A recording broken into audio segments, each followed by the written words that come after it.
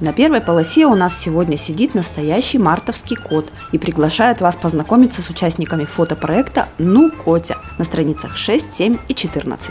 Страница 2. Здесь коротко о самом важном и интересном, что происходило в городе на прошлой неделе. Компенсация за ремонт. Та, да не та. Как высчитывается эта льгота для пенсионеров, читайте на странице 3. На странице 4 разбираем редакционную почту. Вновь поднимаем проблему отсутствия остановки при въезде в поселок Красная Горка. Пытаемся понять, за чей счет должны вывозиться прошлогодние ветки от контейнерной площадки и зачем перекладывать мусор из одного контейнера в другой.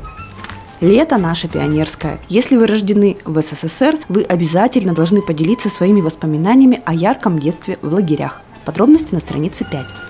Как всегда, на странице 8 полевчане поздравляют друг друга со значимыми датами в жизни. Редакция тоже поздравляет своих подписчиков именинников, и у вас есть возможность в следующем праздничном номере поздравить своих любимых женщин. Готовьте рассаду. Как это сделать, подскажут опытные садоводы на странице 11. Здесь же редакция объявляет новый конкурс. Приглашаем участвовать детские сады и школы. Называется конкурс «Садоводики». Заявки уже принимаем по телефону 357 74.